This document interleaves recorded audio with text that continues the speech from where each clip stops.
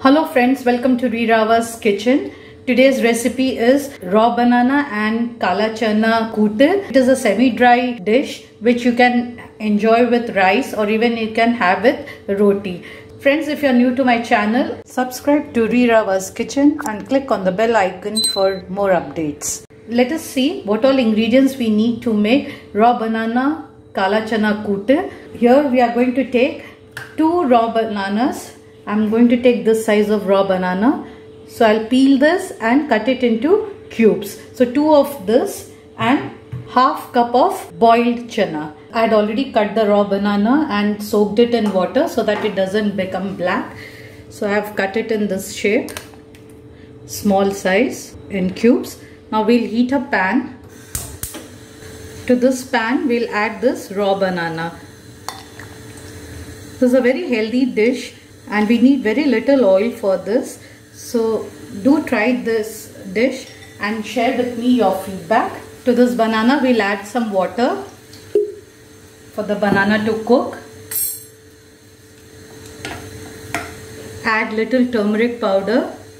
And I've taken around 20 pieces of black pepper whole pepper. We'll crush it and add to this. So you can take around 20 to 25 pieces of black pepper crush it a little and then add to it. So I'll just crush it and get it. Now here you can see I have crushed the pepper a little like this and we will add to this boiling banana. Add a little salt, just a little. We'll adjust the salt later close the lid and then let it cook till the bananas become soft. So while the bananas are cooking, now we'll make a coconut paste for this. So for that, in a mixer jar, add 1 4th cup of grated coconut. So I'll add 1 4th cup of grated coconut, 2 to 3 green chilies as per your taste and 1 4 teaspoon of cumin that is jeera. Add a little water to this and make a fine paste. Now while our bananas are cooking, we will make a paste and come back. Our paste is ready. So now let us check our bananas. Just open and see.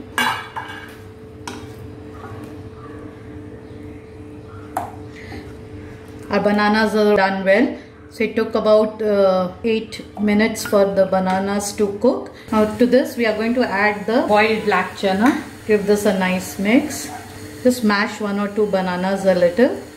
Just one or two pieces. To this we'll add the coconut paste coconut green chili paste. Now combine all these well. You can adjust the salt at this stage. So cover it and let it cook for 2 minutes. So that the kala chana and the raw banana all combine together well. Let this cook for about 2 to 3 minutes. Let us just check.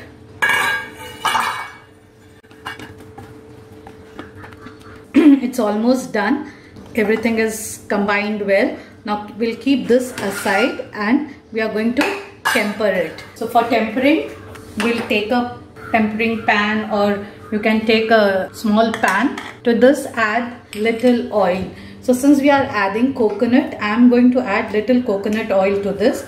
If you want you can add little normal oil also. Just a little of coconut oil our oil is hot so here i'm adding half teaspoon of mustard seed once the mustard seed crackles, we'll add 1 4 teaspoon of white urad dal. Once the dal turns a little brown in color, just light brown, add few curry leaves. Red chili, I've cut one red chili into small pieces. We'll add this. Just give a mix. And 2 tablespoon of grated coconut. So we'll add this 2 tablespoon of grated coconut to this. Now give all these a nice mix and let the coconut turn a little light red in color. This is grated coconut, fresh coconut. I have taken grated fresh coconut. Let the color change a little. Now you can see the color started changing and nice aroma. I'm getting a nice aroma also. See the color has started changing. So now this we will add to our ready raw banana and kala chana kootu. This goes very well with rice and also you can have with chapati as a side dish. Tempering is ready. Switch off the gas and add to our prepared kootu.